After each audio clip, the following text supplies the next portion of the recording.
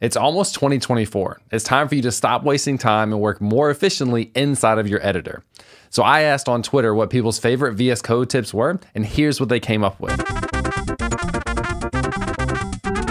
At the end, I'll show you three additional tips one that I've never heard of before, one that I think is the most useful, and one that is pretty controversial. I'm curious what your opinion is. Let's see.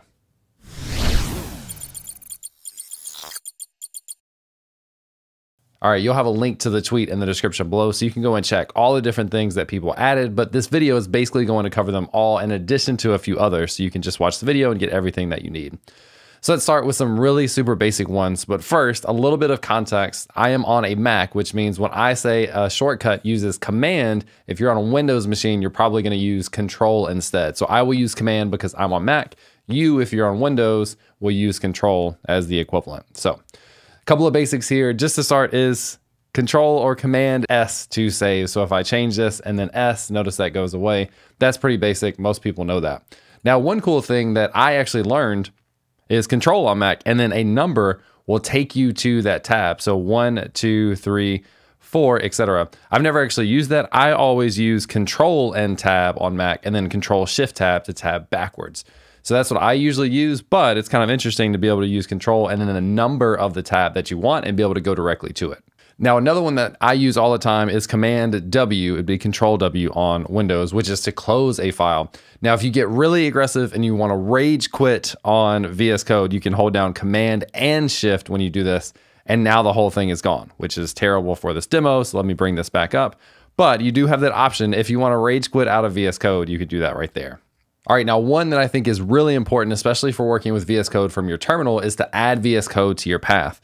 Now, the cool thing is there's a command right inside of VS Code that allows you to do this, and that is add VS Code to path or install code command in path. I didn't get that right at all.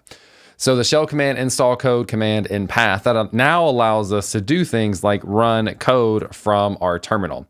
I uh, didn't actually do anything there. Uh, but if I wanted to open up a new project, if I wanted to open this project up in a new window, I could say code dot slash. But what if I change directories and now I want to open a project that's inside of this one into a new instance of VS Code? I can now use the command and do code and then the folder name that I want to open. Now, what if I want to open this inside of the same window? This is one tip that I use all the time. You can pass the dash R flag, which allows you to reopen or open the project that you're trying to open in the same window that you're already in. So code-r will do that and it won't open a separate window. Notice that other window doesn't exist.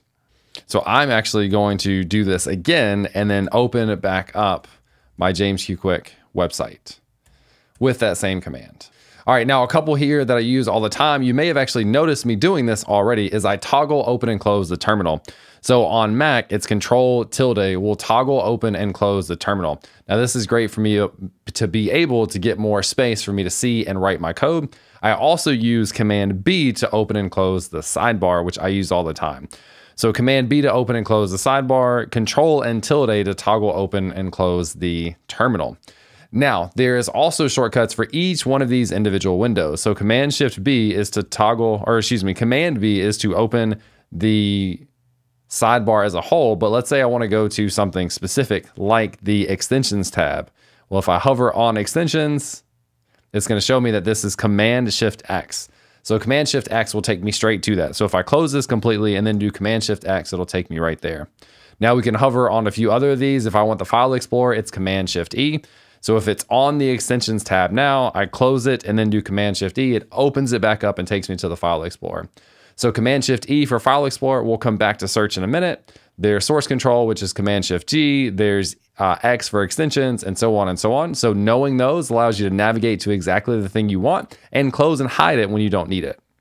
Now, one command that I don't actually use myself, but people love is the ability to get rid of all of the distractions, and that is Command K and Z.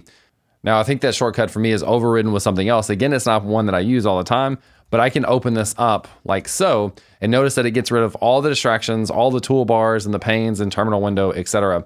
So now I have just my code to focus on, which a lot of people do love, and it centers it on the screen so it's in one consistent place. Now, it's not something that I use very often, so I don't even have that shortcut working, but it may be worth you looking into if you really want to be hyper focused on your code. Now, there's one extension that I thought was really interesting that someone mentioned, which is the auto hide pane extension. And what this does, I actually have it installed and I have it disabled. So if I install it, what happens is I could open the sidebar window, but when I click, and the terminal, I think, but when I click into my code, it moves all that stuff and gets rid of it, which is actually kind of interesting. So either I'm looking in the terminal or I'm looking in the sidebar, but when I go to my code, it gets rid of all those distractions. I think that's a little aggressive for me with my ability to use those shortcuts. I would rather just use my own shortcuts, but if it works for you to just auto hide all that stuff, that's a great extension to look into. All right, let's talk about searching for files. One command that I use more than almost any is Command P. And this opens up the ability to uh, search for files. So I could scroll through manually with my keyboard, or I could start to type in about callout.astro. Now, one quick tip on this that you may not have known though, is if we just open this up from scratch, notice that uh, there's several things that are in the source pages API, for example. So if I wanted to search for one of those files, I could do source pages API, for example. And there's three of these in here. There's speaking, newsletter, and subscribe. But this has fuzzy search, which means I can type anything that I want to in any order of where it might appear inside of that string. So if I were to just type newsletter from the beginning, it automatically goes and grabs things that are appropriate based on it containing newsletter in the file path as a whole. So this fuzzy search allows you to really quickly search for your files, not necessarily caring or needing to know which folder they're in unless you need to and you can specify. And this is the quickest way that I found to be able to find and open files inside of VS Code. Now, another way that you can search is maybe by properties inside of your code. So if you want to search within the same file, you can do Command Shift F. Now, one thing I do all the time is I'll do Command Shift F, and then I also have a shortcut for Command Shift H which will automatically take me down to the replace. And I can replace this with nonsense. And then one quick shortcut here that's helpful on Mac is Command and Enter. We'll go ahead and replace all of those fill whites with nonsense. Not really what we want to do. Which leads me to another quick shortcut that you probably already know, which is Command Z or Control Z to undo. I use this all the time as well, where I make a change, I realize I messed it up, I Command Z to get out of it. Now we talked about searching inside of a local file. What if we want to search in all of our files? Well, we can do Command Shift F on Mac and we can type in the same thing. I don't know why I have writer in here. Let's talk about, uh, let's look for H16, a height of 16. Well, we use it in these different files. We can open these and it takes us directly to the line of code. We can also add in a replacement in here and then hit this button to be able to replace them all. So this is all the ability to search within a file, to replace in a file, and then do a global search and replace as well across all of your files inside of your project. Now, if you're working with Markdown, one interesting one that you should probably know is the ability to open a Markdown preview. Now, in the documentation, and I can show you this inside of the shortcuts, inside of keyboard shortcuts, if we look at Markdown preview, there is a shortcut for Command Shift V and then open it to the side is Command K and V. Now those shortcuts are not working for me specifically because I've got some other things set up. But if you were to have open a markdown file and then you were to trigger that short shortcut, so I can just do this here, it can open the preview and show exactly what this is going to look like. It can also open one to the side, which is going to be side by side with your code and automatically scroll through the Markdown as you scroll through your code. So if you're working with Markdown inside of your blog or whatever else, this is a great one to know so you know exactly what this is going to look like. Now, one thing that I use specifically is the front matter extension, which allows me to start my server and then get a preview of a blog post right inside of VS Code. So I don't even have to go to the browser to see what it actually renders like. I could go to the open preview. And this is going to take me to that blog post, not just as raw markdown, but also as it's going to look on my actual site. So I think this is another next level extension that you should consider if you're working with markdown. All right, one thing that I like a lot is the ability to select all instances of a word. And you can do this with Shift, Command, and L. So you can see inside of here, there's at least two instances of py-10. So this will select all of those. Now, if you wanted to do this a little more manually, you could come inside of here and do Command D. Now, I like Command D because it will select the entire word. Now, this gets a little tricky because of dashes, but if it doesn't have dash, it will select the entire word as you can see here. But if I were to select something, so if I go back to PY10 and I do Command D again, it's going to then select the next instance. So I can do Command D to select as many instances of that thing as I want. And then I have multiple cursors, which is another tip to be able to edit these right inside at the same time. So I could change this to PY12 if I want to. Notice that updates in both places. Multiple cursors are extremely powerful and I highly recommend them. Now let's talk about another way that we can do multiple cursors. I hold down Shift, Option, and Command and I can now use my arrow keys to arrow down to get multiple cursors. Now this is really cool because I can select all of these at the same time, copy them to my clipboard, and then what happens is if I continue to have the same amount of multiple cursors, I can paste and it pastes those appropriately based on the line that I'm in, which is really neat. So if I were to use those as variable names, for example, I could come inside of here and just paste them. And now they will paste appropriately based on what I copied in the same exact order, which is really, really powerful. So VS Code, multiple cursors is absolutely one of the most effective tools that you can have to kind of really increase your workflow inside of VS Code. Now, another one I love is the ability to select and then use function on Mac and then F2. And now this is rename symbol, which allows me to rename this to updated title, for example, press enter. And this is updated not only the definition here or the name here, but also every instance of this inside of my code as well.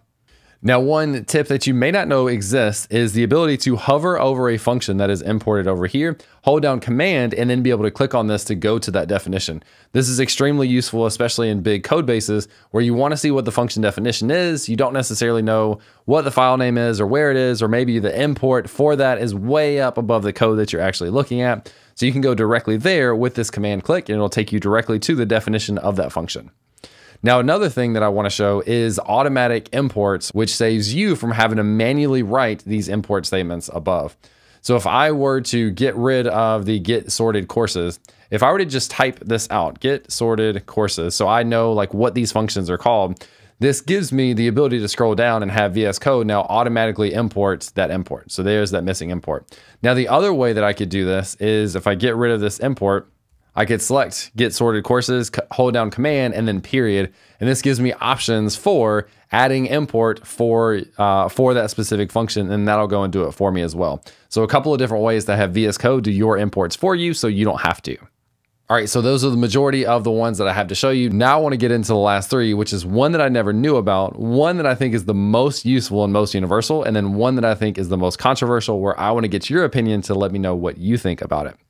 So let's start with the one that I didn't know before. All right, so what this is, is we want to be able to expand our selection. So we want to start with maybe the word headers, then we want to expand to this whole line, then the whole object, then the whole function that it's in, and then the whole file. So you're kind of expanding that selection. So on Mac, we hold down con, uh, Shift, Control, Command. It's kind of a tricky one. And then right arrow. So it gets the first word. Now it gets that whole line. Now it gets that whole object because it's matching based on those brackets. Then it's going to get the entire function definition. Then on the next, well, now it grabs the actual brackets themselves. And now it's going to get the actual full function declaration. And then next, it's going to get the entire file. So this is a pretty cool way if you want to be able to select things inside of brackets, for example, you can use Shift, Control, Command on Mac, and then your right arrow to be able to expand and shrink that selection and be able to select exactly what you want with inside of those brackets. Now, the next thing is the one that I find the most useful, and I've already actually used it a few times in here, which is the command palette, Command Shift P. So if your shortcuts are ever not working or you can't remember what the shortcut is for something, you can come and type in whatever command you want to run by triggering the command palette. So notice here, you can see a bunch of the different ones that I have used recently. One that I use all the time is open recent. So if I want to open a different project, I'll do Command Shift P, type in OPE, and then it's in there. And then I click that and I can scroll down to the project that I want to open and press enter and it'll open it right there. But anything that you want or need to do inside of VS Code, you can do from the command palette. So it is by far the most useful command for you to know when working inside of VS Code. Now, the last tip that I have from people that some people love and I think most people hate is we are very used to having our sidebar over here on the left. We're used to having our files over here on the left. The problem with that is if we look at where this code starts for from a readability user perspective, the code starts right inside of here. But if I toggle this closed, now my code is now a couple inches to the left on my monitor, which means I'm having to do a little bit of context switching as I'm opening and closing this window as to where my code is. But what would happen if you flipped that window, the toggle or the uh, the sidebar to be on the right side, well, then you wouldn't have that problem. So let's look at our settings. This is another shortcut for you. Command and comma will open up your settings. And we can look at sidebar position. And we can now take this and set this to the right. Now, this is going to blow some people's minds. It's going to seem super foreign. But as I toggle this open and close, it seems so far away over there. As I toggle this open and close, my code, the start of my code from a readability perspective stays in the exact same spot. So a lot of people love this. I have used this some, but I always back out of it. I don't know why. It's just hard to get used to, but it's hard to deny also that from a readability perspective, your code staying in the same exact place is beneficial even when you toggle that on and off.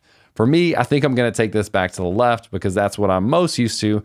But let me know in the comments what you think about that. Would you try the sidebar on the right? Let me know what you think and let me know what other awesome VS Code tips you have that you think I might have missed. But hopefully, this video was helpful and you can go into 2024 a lot more optimistic about taking full advantage of the power of VS Code.